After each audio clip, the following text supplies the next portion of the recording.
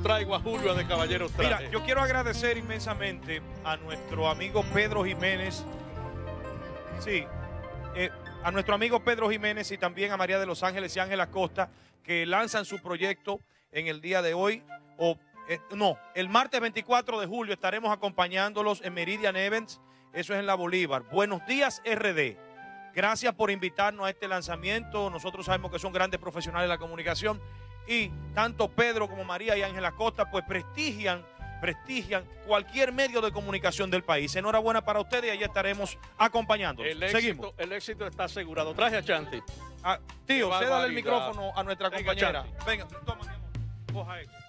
Eh, Ya señores, van- Ya van dos Chanti. ¿Por qué Chanti no tenía micrófono? Nunca tiene. No sé qué está pasando en este programa. eso, no es un boicot para que yo No, no pues pueda dígame hablar. cuánto hace falta que yo lo voy a A comprar. ella no le ponen micrófono. No, yo lo voy a comprar. hacen, Es diario que lo hacen. Como compré tres cámaras, dron y todo, porque aquí hay que comprarlo todo. Cómprale un micrófono a Chanti exclusivo por ahí. Ok, vamos otra vez. Traje a Chanti. Bueno, señores, no, es que yo no me desvirtúo de la información independientemente de los problemas En técnicos. serio, cotícenme eso, ¿eh? Eh, quiero hablar, señores, de Don Miguelo. No es noticia, todo el mundo sabe que Don Miguelo en el día antes de ayer, pues eh, y fue testigo eh, de un percance. Realmente hubo un accidente, él no tuvo nada que ver, sin embargo, iba en la autopista y uno de sus choferes se paró, él también, eh, redujeron la velocidad para ver de qué se trataba y si quería, eh, pues, o podía ayudar en esta situación. Eso es de, es de dominio público. Ahora bien, lo que sí preocupó a mucha gente, inclusive a los protagonistas de esta información, Real Navila Tapia publicó en sus redes y el mismo Don Miguelo también, se hicieron eco, porque el periódico hoy había publicado una información errada sobre este hecho. Ese es el video eh, donde circuló a primeras horas del martes de, de- lo que ocurrió, que todo el mundo vio el accidente, un muerto, un señor eh, de nombre Porfirio. Sin embargo, el periódico hoy había publicado que, bueno, don Miguelo sufrió un choque y en el, choco, en el choque hubo un muerto. Real Navila Tapia publicó en sus redes de que iba a demandar al periódico hoy si no retiraba eso antes de las 3 de la tarde. Antes de las 3 de la tarde. Sí, porque tú sabes que independientemente de lo que sea, eso crea una mala información, una nebulosa Usted entre... tiene que orientarlos a ellos, porque usted de allá, del mismo pueblo.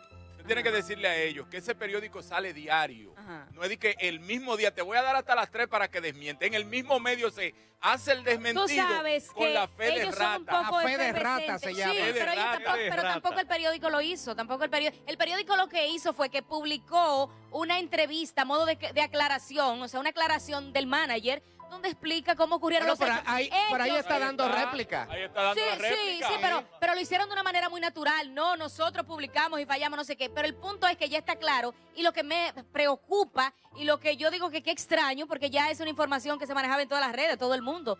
¿Cómo ocurrió eso de venir a decir que Don Miguelo estaba vinculado a esto cuando simplemente redujo la velocidad? Pero Julio, hay otra versión, ¿no? Sí, mira. La versión que nosotros manejamos, que es la versión que don Miguelo maneja también, es la que ha oficialmente ofrecido.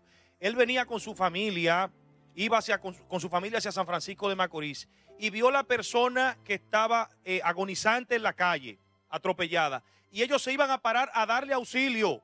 Y en ese contexto Quería es que viene un camión, que viene un camión y lo choca por detrás y pasa el accidente. Miren, Mucha gente se confundió, perdón Aridio, mucha gente confundió la situación porque veía en los titulares y en redes sociales que decía, "Ve- vehículo de Don Miguelo se accidenta, hay un muerto. Hay un muerto. Todo el mundo piensa que fue que hubo una situación con Porque publican pero- la información Pero a ese título no es justo, ¿eh? No Eh, es justo, por eso, lo- por, eh, por eso es importante resaltar lo que ya se arregló, porque es que mucha gente, la primera información que, que la ve, la cree. Y no es ¿tú- así. ¿tú Sí, pero tenemos que tener hermano- cuidado, perdón, Aridio, tenemos que tener cuidado con los títulos, porque hay cosas que después, aunque uno quiera arreglarlas, queda, quedan cenicitas. No se pueden. Pero mira, yo recuerdo el hermano de Ingrid Gómez. Sí. No sé si tú recuerdas. Edwin, amigo mío, Edwin claro, Gómez, claro. que murió que se detuvo Desde el a medio tú- auxiliar a una persona. Eso fue en el Sí. 99, Porque él redujo la, él redujo la velocidad del vehículo donde venía, entonces ahí es que un camión lo impacta a él.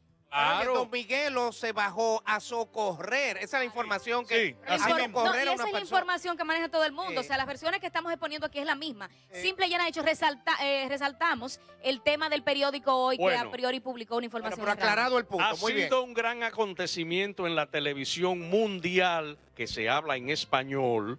El trabajo que se ha hecho sobre la vida desconocida y los detalles inéditos sobre Luis Miguel. Pero ¿qué pasa? Que hoy en un programa de televisión de Buenos Aires, Argentina, las primas de Luis Miguel han seguido la pista de una supuesta eh, indigente que está en las calles de Buenos Aires y han tratado de desmentirlas, pero ellas tienen un punto de vista muy diferente. En los videos se ve la cara de la indigente y la cara de la señora Bastieri, que era la madre de Luis Miguel.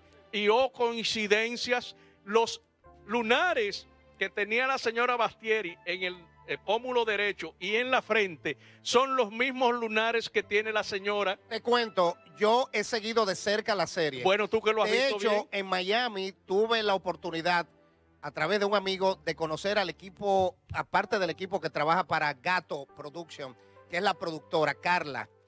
Eh, y bueno, hablamos incluso de una posibilidad de una segunda temporada que creo que sí va, aunque Eh, se ha estado va, manejando con va, misterio. va. En la serie de Luis Miguel, creo que en el capítulo 11, eh, Luis Miguel va hacia un asilo, o un sitio de, de- ¿cómo se llama? De, de, De envejeciente, de- casa pero de de personas- de hogar de ancianos, porque en la serie se refleja mucho la preocupación y cómo le afectó a él la desaparición de su madre a mediados de los años 80, ¿no? Y hay un dato Que que, nunca, agregar. pero oye, en la serie se pone mucho énfasis en ese afán de él de buscarla, de, de llamarla, y como eso lo cambió, le cambió hasta su actitud, su temperamento, eh, porque la madre Nunca se aclaró. loca. ¿Qué fue? ¿Qué- ¿Se aclaró alguna vez? Oye, hay un dato Cuando él va al, al- al asilo, Ajá. que se ve de espalda la supuesta madre y la ve de frente, eh, definitivamente no era ella. No era ella. Pero hay un dato contundente finalmente con respecto a esa señora. Acaba de informar la agencia noticiosa LATAM de Argentina que esa señora está protegida por la policía y las autoridades en un hospital en Buenos Aires. ¿Qué pasaría ahí? Pero ellas dicen algo, las primas ahí. hay Sí, las primas Da- expresan déjame que- escuchar, porque esto está interesante. Quiero aclarar que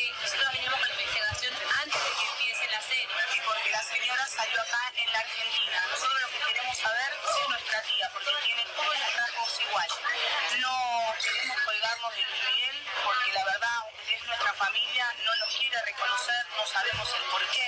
Lo hacemos porque somos familia, Para Ivana Basteri, el estar unos minutos con esta mujer en un hospital de Argentina fue suficiente para darse cuenta que lleva su sangre, aunque el acceso a ella ahora está restringido por una orden judicial girada en aquel país.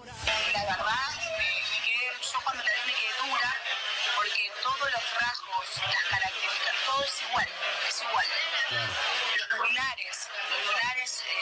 tres lunares tienen igual. ¿Esos lunares dónde están ubicados?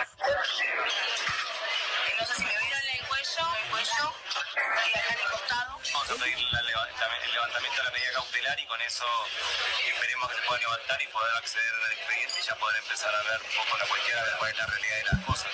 Para hoy, Ernesto Buitrón. Bien, señores, miren, yo no salgo de, yo no salgo del asombro al ver la actitud que asume el Colegio Dominicano de Periodistas con sus miembros. Hemos visto cómo en esta nueva directiva de mi hermano Adriano de la Cruz, el profesor, El maestro se le ha dado de lado a periodistas en momentos en que necesitan realmente del apoyo de su institución. Vimos en días pasados un caso similar y ellos se echaron a un lado y dijeron que ellos no tenían que ver con eso. Ahora veo el caso de la periodista Nivel Carrosario, que está siendo demandada por una situación que se ha dado en el país y que todo el mundo conoce. Y el Colegio Dominicano de Periodistas aún no dice ni siquiera esta boca es mía. Entonces, ¿para qué está el Colegio de Periodistas Dominicanos? ¿Para cherchas? ¿Para juergas? ¿O está realmente para defender los intereses de los miembros que allí se congregan? Anibelka, este show del mediodía está contigo. Claro. Bien, bien. Vamos, Julio. Brevemente, quiero saludar a Abigail Peña que anda por ahí. Anda por ahí, Abigail Peña. ¿Está Abigail, el otro Abigail. Abigail? Está el otro Abigail por ahí, sí, ¿Dónde el Abigail Peña, nuestro Abigail? amigo. No, no Ay. quiso entrar, no quiso entrar. No quiso entrar, bueno. Los. Ahora, si entra, Se arma, sí, es verdad. Se No, entran. no. si entra, como que me puedo poner creativo y, y- Y, y- y armar una- un colmado. no, y, y hasta sustituir. Eh, No, espérate, está bien. No, no, no, no, no. no, Recordarle así no. a nuestra gente que mañana, mañana tenemos pequeños grandes talentos. Los protagonistas son los niños mañana aquí en Pequeños Grandes Talentos, que el show sale Un para cambio de. Abigail a Abigail. No, no, no. El problema es todos. que si tú quieres que se te arme una no, huelga pero aquí, espérate. Si Ay, tú Dios quieres, mío. inténtalo. Vamos a someterlo a Ah, prueba. ustedes tienen un sindicato. Oh, pero aquí. eso está armado hace tiempo. Aprovecharon mi Señores, ¿Y tú te ausencia. crees que esos viajes que tú das no se aprovechan? Eso, mira, ya eso está aprobado ya. Señores, vamos aquí. Mira, se ha dado una situación y es que Revolución Salsera ha dicho en esta semana que en la salsa no hay unión, señores. Que cada quien anda por su lado. Que sencillamente no hay manera de juntarlos en el género y me voy más lejos. Alguien le ha agregado a esas expresiones de Revolución Salsera que presuntamente los programas de salsa tampoco quieren apoyar a los intérpretes los fines de semana. Que ahí, sea, ahí hay una situación ahí que no está muy clara. Especificaron que para tú colocar un tema de salsa en la radio y ponerlo a sonar, hay que invertir, al igual que en un tema urbano, un millón quinientos mil pesos y que ya la Ah, pero- situación de la salsa está en picada, que no está como en años anteriores, O sea y que- que... puede ser sustituida con otro género, o sea que ellos prefieren apoyar los extranjeros y no los dominicanos. presuntamente. No sabemos si esa es la verdad. O sea que existe el cartel de la salsa en el país. Se está, eh, se está ventilando eso. Yo no creo que sea así. no lo creo. No lo creo. Pero Wow. mientras tanto, nosotros haremos las indagatorias pertinentes en torno al caso. Aquí tenemos un invitado muy especial a quien conocemos hace muchos años, que es nuestro amigo Javier Villamán, un gran artista que está radicado en los Estados Unidos, Javier. Así es, así y es. anda de promoción en República Dominicana. Así es, lo primero, buenas tardes, dar gracias a Dios, felicitar a Iván, a este equipo maravilloso que tienes tú en este maravilloso espacio de tantos años. Miguel Ángel, un deseo enorme saludarte, Aridio, hermano. Ustedes saben, ustedes saben el cariño que hay desde siempre de este servidor Javier Villamán. Bueno, estoy de promoción en mi- con mi nuevo tema que se llama Dominicano por siempre, a ritmo de merengue. Dominicano por siempre, letra mía y arreglo del maestro Ramón Orlando Baloy. ¿Y qué estás haciendo para promocionar ese tema, además de los Media Tour? ¿Tú, tú vas a invertir también millón y medio, como dicen los salseros? Eh, yo, yo, yo, Sí. yo no, yo no creo que pueda, no creo que pueda, pero, Pero, pero, con, tu pero calidad, estamos con trabajando. tu calidad se puede. Estamos trabajando, muchas gracias. De verdad, Miguel Ángel, estamos muy esperanzados. Yo soy de lo que piensa que el merengue no está en el suelo nada. Hacen falta personas, eh, inversionistas en el género, Sí. nuevos temas, nuevos cantantes con, con algo más refrescante. Ok. Yo creo en eso y por eso estoy haciendo temas de esa Bueno, naturaleza. Villamán, te agradecemos que hayas estado con nosotros. El próximo lunes voy a hablar sobre la situación del merengue y quiénes son los, pres- los Julio. futuros y presentes Me inversionistas. pregunta, eh, Garay, ¿cuál Sí. es la pregunta? Adelante, Gray, pregunta. Pregunta. ven para acá. Que si tiene No, algún Gray, ¿tú qué te parentesco con? Elvis Gray, Crespo. tú eres primo de Elvis Crespo, por lo menos. ¿Eh? No, no, no. Pre- Son primos Pero lejanos. ¿cómo que- Muy lejano. Hablan igual. Bien Crespo y yo soy Villamán, No, pero búscate a Elvis Crespo ahí, búscate. Señores, no es pongan creativos, señores. Mira, el show debe continuar.